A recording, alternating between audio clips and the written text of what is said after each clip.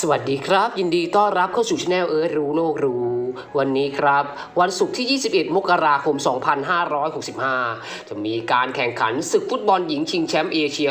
2022 ในรอบแบ่งกลุ่ม เป็นแมตช์การแข่งขันกันระหว่างเกาหลีใต้จะพบกับเวียดนามในเวลา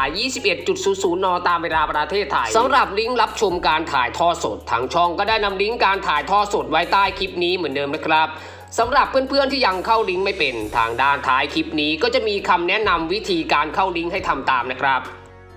สำหรับเพื่อนๆที่จะเข้าลิงก์ดูและเข้าไม่เป็น ก็ทำตามขั้นตอนตามนี้เลยนะครับ จากหน้าจอมือถือของคุณคุณจะเห็นเลยครับหน้าใต้คลิป มันจะมีชื่อคลิปอยู่นะครับ ให้คุณมองทางด้านขวามือของชื่อคลิป มันจะมีเครื่องหมายชี้ลงนะครับ เป็นลูกศรสามเหลี่ยม ผมวงกลมสีแดงไว้ให้เห็นไหมครับ ให้คุณเอานิ้วแตะไปตรงสามเหลี่ยมที่ผมวงสีแดงไว้ให้ มันจะมีส่วนขยายออกมา เห็นไหมครับ เมื่อเรากดไปแล้วเนี่ยส่วนขยายด้านล่างมันจะยาวขึ้น หัวข้อมันจะเขียนคำว่าคำอธิบาย